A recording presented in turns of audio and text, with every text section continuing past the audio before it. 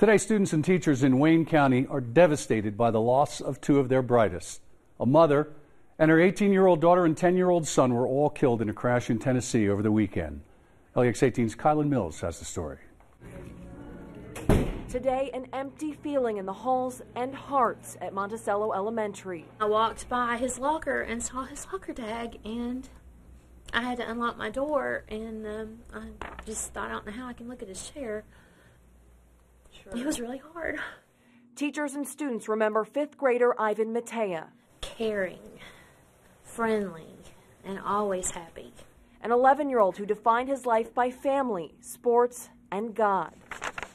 They've been drawing and writing pictures. Have been um, playing soccer, and he loved the color green, and so a lot of them have drawn his black and green soccer ball, and um, just pictures of him, you know, in the sky. The family was driving through Tennessee when a crash claimed the life of Ivan, his mother, and 18 year old sister Emily. Four others in the SUV were hurt. Oh, I was stunned. Nothing could have stunned me more than to see that.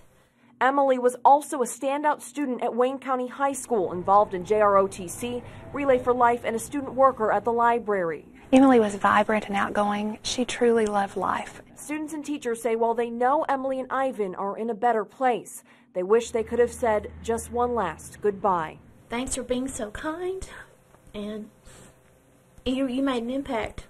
I know you don't. I know you don't know that, but Covering the news in Wayne County, Kylan Mills, LEX 18 News.